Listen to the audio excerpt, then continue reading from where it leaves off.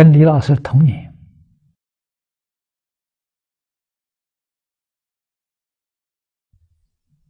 那么这些像这些事情，我们自己有没有机会碰到？也有。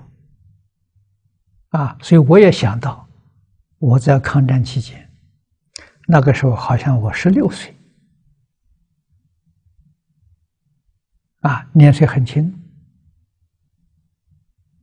住在湖南衡山，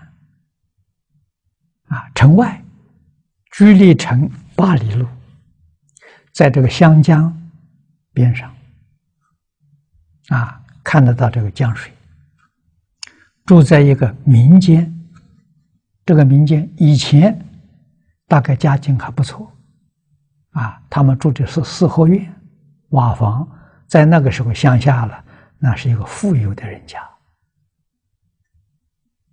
啊，四合院是两进，后面有个很大的菜园，啊，这个这个家已经败落了，只剩了这个。老夫妻两个，一个女儿。我们住进去，他很欢喜啊，因为他人丁太少，很寂寞啊。他家是两层楼房，那个楼楼房啊，楼梯早就没有了。楼上住的是狐狸啊，真的狐狸精啊！所以我们在那个时候就真正看到狐狸精了，才相信呢。这个小说里面写的不是假的，啊，他真的变成一个人形，啊，但我们看的是男的，不是女的，啊，穿的长布大褂，啊，许多人都看见，但是没有一个人呢是看到他的正面，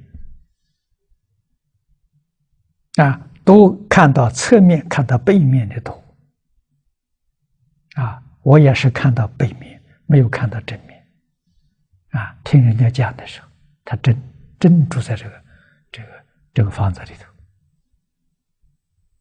头，啊，很多年也相安无事，啊，有一年出了事情了，啊，这个房东的太太。他的一些兄弟们啊，打猎啊，早晨清早看到屋顶上有一只狐狸在拜太阳啊，他们用猎枪把狐狸打死了，这下就结了冤仇了。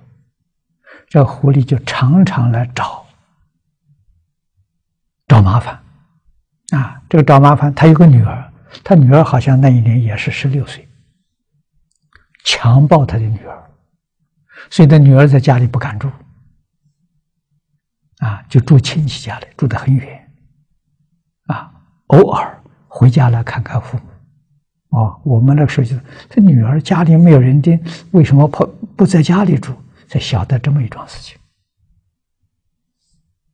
啊，就借了这个冤仇。